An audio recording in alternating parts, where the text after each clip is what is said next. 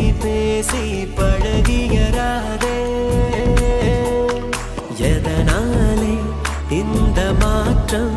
மனசுக்குள் ஏதோ மாய தோற்றம். எதனாலே